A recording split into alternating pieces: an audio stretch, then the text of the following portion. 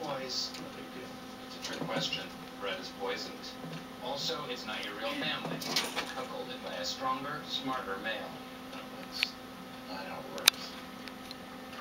I would not steal the bread, and I would not let my family go home. Okay, we should get.